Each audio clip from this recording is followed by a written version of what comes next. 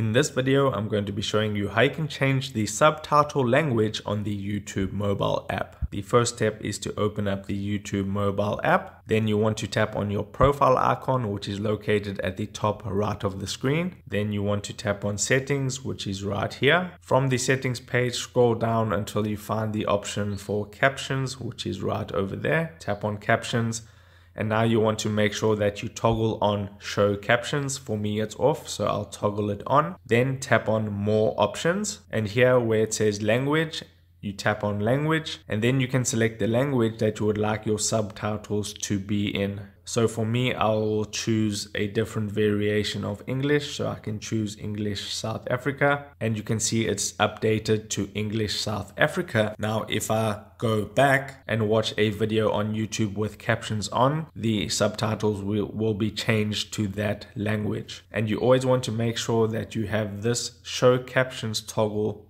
toggled on for this to work properly. If you would like to change your caption to another language, just tap on more options again, tap on language, and then select your caption language and then go back. So that is how you change your subtitle language on the YouTube mobile app. If this video helped you out, don't forget to like this video and subscribe down below, and I'll see you in the next video.